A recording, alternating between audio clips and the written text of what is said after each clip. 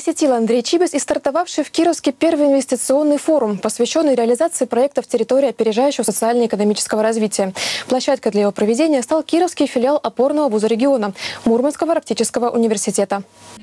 Инвестфорум проходит в Кировске впервые. Работа развернулась на трех площадках. Развитие туризма, промышленный кластер и поддержка малого и среднего бизнеса.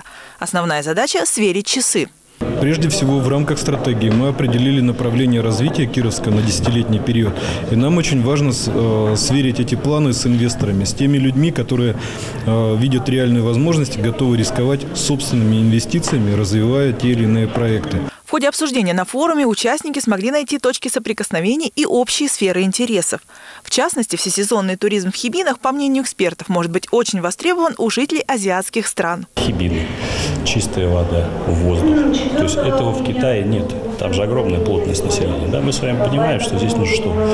Обратить недуг в подвиг. То, что нам каждый день мы это видим, для нас это замылилось, а для них это некая экзотика. Эксперты отмечают, что увеличение турпотока приведет к росту налоговых отчислений в бюджет города и позволит создать новые рабочие места. Тем более, что это является основным критерием вхождения в состав ТАСЭР и получения выгодных преференций. Ожидается, что в дальнейшем инвестфорум будет проходить в Кировске два раза в год.